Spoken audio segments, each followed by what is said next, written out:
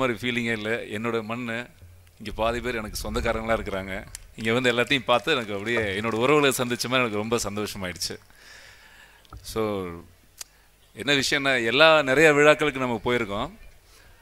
தம்பி முதன்முறையாக அந்த மாதிரி புத்தக திருவிழா அப்படின்னு சொல்லி ஒரு விஷயம் அப்படின்னா வழக்கமாக இந்த புத்தக திருவிழாவுக்கு நான் அதை நல்லா பார்த்தீங்கன்னா இந்த பாடம் எடுக்கும்போது பாதி பேர் தூங்கிடுவான் அந்த மாதிரி இந்த மாதிரி புத்தக திருவிழாவுக்கு நான் நாலஞ்சு திருவிழா சென்னைக்கெலாம் போயிருக்கேன் நான். ஏதோ ஒரு ஜோல்னா பைய போட்டுக்கிட்டு ஒரு நாலே நாலு பேர் உள்ளே வருவாங்க. ஒரு புத்தகத்தை பார்ப்பான் அப்படியே போயிடுவான். இவ்வளவு தான் நம்ம மேக்சிமம் இன்றைக்கி இருக்கிற காலகட்டங்கள் ஒரு பத்திரிகை வாசிப்பு அப்படிங்கிறது. ஆனால் இங்கே வந்து பார்த்ததுக்கப்புறம் எனக்கு மனசே ரொம்ப பிரமிச்சு போச்சு. என்ன அப்படின்னா இவ்வளவு பேர் நீங்க வந்து இது ஒரு கவர்ச்சி நடனம் கிடையாது. இங்க ஒரு சினிமா நடிகைகளை வச்சு கேலி கூத்தடிக்கிறதுக்கு ஒரு மேடை கிடையாது. இங்க வந்து ஒரு பொழுது போக்குறதுக்கான அம்சங்கள் எதுவுமே கிடையாது.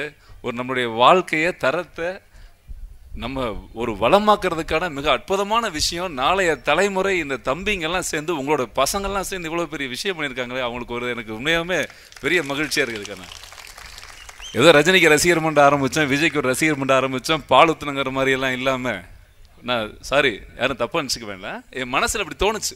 யோசித்தேன் பார்க்கும்போது அவ்வளோ பேர் அந்த பத்திரிக்கையில் ஏதோ ஒருத்தர் ரெண்டு பேர் நான் சொல்லுவேன். நீங்கள் அவ்வளோ பேர் நிற்கிறீங்க வெளியே பாருங்கள் எவ்வளோ வாலண்டியர்ஸ் நிற்கிறாங்க எல்லாருமே பசங்க. எவ்வளோ பெரிய பெருமை. ஏன்னா நமக்கு ஒரு பையன் பிறந்தா அந்த பையன் இந்த மாதிரி நிகழ்ச்சிகளுக்கெல்லாம் நல்ல நிகழ்ச்சிகளுக்கு போய் துணை நிற்பானாங்கிறது எவ்வளோ பெரிய சந்தேகம். அந்த மாதிரி நம்ம பசங்க இந்த மாதிரி செய்கிறது வந்து இந்த மண்ணுக்கு வந்து அவங்க சேர்த்த பெருமை கண்ணா. ரொம்ப நன்றி. நீங்கள் எல்லோரும் ரொம்ப நல்லா இருப்பீங்க உண்மையாகவே என்னென்னா இன்றைக்கி நான்லாம் பேப்பரே வாங்கி ரொம்ப நாள் ஆகிப்போச்சு என்னைக்கு கம்ப்யூட்டர் வந்துருச்சோ செல்ஃபோன் வந்துருச்சோ இன்றைக்கி பேப்பர் வாங்குறது இல்லை. மனிதனுக்கு மனிதன் கான்டாக்டே தொடர்பே கிடையாது. மனிதர்களுக்கு மனிதர்கள் பேசிக்கிறதே கிடையாது. எல்லாமே செல்ஃபோன் எல்லாமே இதுக்குள்ளேயே முடங்கி முடங்கி இன்னொருத்தனுடைய சப்தம் கூட தெரியாது வாழ்க்கையில். அப்படிப்பட்ட ஒரு இருக்கலான ஒரு சூழ்நிலையில் இந்த சமூக ஊடகங்கள் அப்படிங்கிற ஒரு பேய் நம்மளை ஆட்கொண்டு நம்மளுடைய உறவுகளையும் வாழ்க்கையும் எல்லாமே பிரித்து தனித்தனியாக எல்லாருமே மென்டல் மாதிரியே இருப்பாங்க. பாதி பேர். நானும் பண்ணிட்டு தான் இருக்கேன். இல்லைன்னு சொல்லலை. ஸோ இது எதுக்கு சொல்கிறேன் அப்படின்னா இன்றைக்கி அந்தளவுக்கு வந்து நம்மளை வந்து தனித்தனியாக நம்மளை வந்து எங்கெங்கேயோ கொண்டு போய் விட்டுச்சு ஒரு ஒரு திசையிலையும். புத்தகம் மட்டுமே சிறந்த வழியை காட்டும். புத்தகம் மட்டும்தான் நல்ல நண்பனை கொடுக்கும். புத்தகம் மட்டும்தான் ஒரு சமுதாய மேம்போக்கான ஒரு நல்ல ஒரு விஷயத்தை கொடுக்கும். இப்போ கூட நான் சினிமாவில் இருக்கேன். கதை எழுதும்போது ஏதாவது ஒரு அசிஸ்டன்ட் டைரக்டர் வந்து இப்போல்லாம் பார்த்தீங்கன்னா அப்படி லேப்டாப் ஓப்பன் பண்ணி தான் வருவாங்க.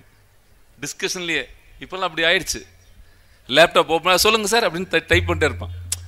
ஸோ இப்போல்லாம் வந்து ஆனால் அந்த ஸ்கூலில் நம்ம மண்ணை கூட்டி வச்சோ இல்லை ஸ்லைட்லேயோ இந்த ஆண் ஆவணம் எழுதும் பாருங்கள் கையை பிடிச்சி அந்த சுகம் இருக்குமா வாழ்க்கையில்? என்ன தான் ஆன்லைனில் இது வந்தாலும் என்னதான் கம்ப்யூட்டர் நம்ம படிச்சுக்கிட்டாலும் அந்த சுகம் வருமா? அந்த ஒரு ஏன்னா இந்த விரல் நம்முடைய மூளைக்கு சென்றடையக்கூடிய அந்த உணர்ச்சி இருக்கு. அந்த உணர்தல் இருக்கே அது எங்கேயாவது கிடைக்குமா அது? அது எழுதுறதுலையும் புத்தகம் வாசிப்பதிலையும் மட்டும்தான் கிடைக்கும். ஸோ அந்த மாதிரி தொலைந்து போன கலாச்சாரங்க மாதிரி தொலைந்து போன கலாச்சாரத்தை மீட்டெடுக்கிறதுக்கு மாதிரி இந்த மாதிரி ஒரு புத்தகம் இந்த மாதிரி திருவிழாக்களை இந்த மாதிரி தம்பிகள் நடத்தி இங்கே ஒரு ஒரு விழிப்புணர்வு ஏற்படுத்தியிருக்காங்க பாருங்கள் அதுக்கு வந்து நான் மனமாற அவங்களுக்கு நான் வந்து ஒரு நன்றி சொல்லணும். எனது மேடையில் மூணு நாளாக நேற்று என் நண்பர்கள் பேசினாங்க முந்தா நேற்று வந்தவங்கலாம் என் நண்பர்கள் தான். இந்த மாதிரி விழாக்களுக்கு எங்கிட்ட ஃபோனில் பேசும்போது சொன்னாங்க எல்லாருமே இதைத்தான் சொன்னாங்க. நல்லா பண்ணுறாங்களே வெள்ள கோயிலில் இந்த பசங்களாம் சேர்ந்து இவ்வளோ கஷ்டப்படுறாங்களே சூப்பராக பண்ணுறாங்க நேற்று ஜட்ஜு ஜியாவுதீன் வந்து பேசினார் அவர் என்னுடைய கிளாஸ்மேட் ரெண்டு வருஷம் சீனியர் அவர்.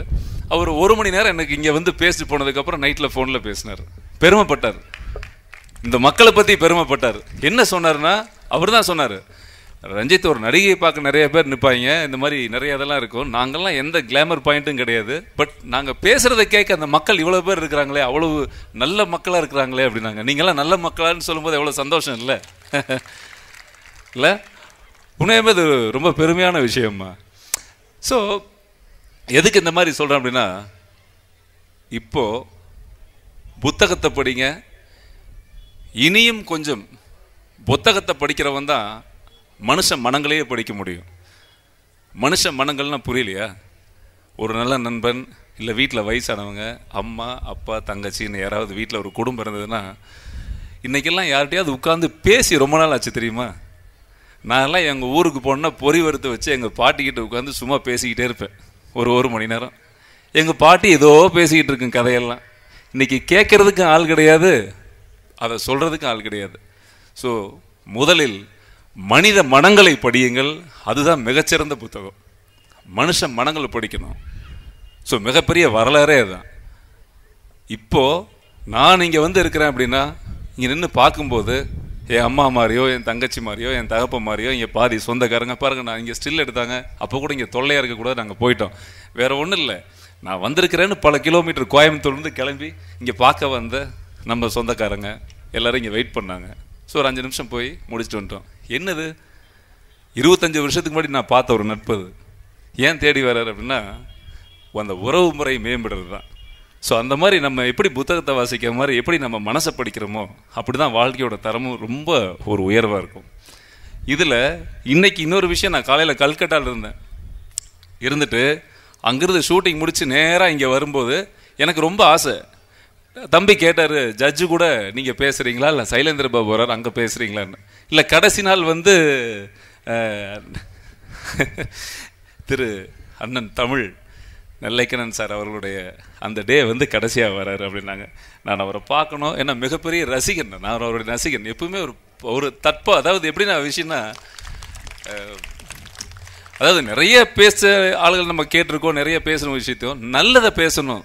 நல்லா பேசுகிறோங்கிறத விட அவர் ரொம்ப நல்லதை பேசுவார். அது எப்பவுமே பாசிட்டிவாக இருக்கும் அவருடைய தன்னம்பிக்கை வார்த்தைகள் எல்லாமே ரொம்ப பாசிட்டிவாக இருக்கும். நான் அடிக்கடி வீட்டில் இருக்கும்போது இப்போ தான் சொல்லிட்டு இருந்தேன். யூடியூப்பில் அவருடைய இதெல்லாம் கலெக்ஷன் பண்ணி வச்சுருப்பேன். போர் அடிக்கும்போது அதை பற்றி படிச்சுக்கிட்டே இருப்பேன். ஸோ உண்மை எனக்கு ஒரு ஆசை.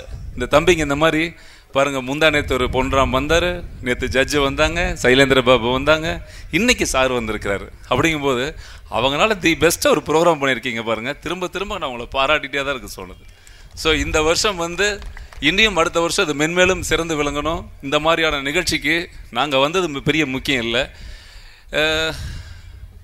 சினிமா எடுக்கிறதுக்கு நூறு பேர் ஃபைனான்ஸ் பண்ணிடுவான் இல்லை ஒரு ஒயின் ஷாப் வைக்கிறேன்னா லாபம் வரும்னு பத்து பேர் ஃபைனான்ஸ் பண்ணிடுவான் இந்த மாதிரி ஒரு புத்தக திருவிழான்னு ஊர் ஊராக டொனேஷன் கேட்கும்போதோ நண்பர்களை சொல்லும்போதோ பாவம் எல்லாம் பத்தாயிரமோ ஐயாயிரமோ ஒரு வேலைக்கு போயிருப்பீங்க.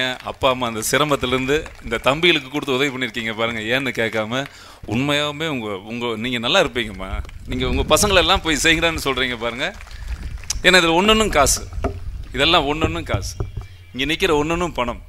இது ஒன்று அவங்க டிக்கெட் போடலை. நீங்கள் யாராவது டிக்கெட் வாங்கிட்டு வந்திருக்கீங்களா? இல்லை இல்லை நூறுரூபா ஐநூறுரூவா டிக்கெட் இல்லை இல்லை டொனேஷன் புக்கே கிடையாது பார்த்தீங்களா இங்கே வர வசூலே கிடையாது. ஸோ தன்னுடைய சொந்த பணத்தை அவங்கவுங்க இந்த தம்பிகள்லாம் போட்டு ஒரு நல்ல ஒரு நிகழ்ச்சி ஏற்பாடு பண்ணியிருக்காங்க. ரொம்ப மரியாதையாக இருக்குது ரொம்ப நீங்களாம் ரொம்ப சந்தோஷமாக இருக்குது இந்த மண் நல்லாயிருக்கும் மாற்றம் எங்கேருந்து ஆரம்பிக்கணும் அப்படின்னா முதல் வந்து மாற்றம் நம்மகிட்ட தான் துவங்கணும். அந்த மாதிரி நீங்கள் ஒரு நல்ல மாற்றத்தை துவங்கியிருக்கீங்க. நாளைய சந்ததிகள் உங்களை வச்சு ரொம்ப சிறப்பாக வரும். என்னுடைய மனமார்ந்த வாழ்த்துக்கள். இவங்களுக்கு நீங்கள் உதவி செஞ்ச இந்த லைட்மேன்லேருந்து இந்த வீடியோ இருக்கிறவங்கலேருந்து இந்த போலீஸ் பர்மிஷன் கொடுத்ததுலேருந்து இந்த ஸ்டால் போட்ட புத்தக நண்பர்கள்லேருந்து எல்லாத்துக்கும் அவங்க சார்பில் நான் கோடான கோடி நன்றிகள் சொல்லி விடைபெறுகிறேன். நன்றி வணக்கம்.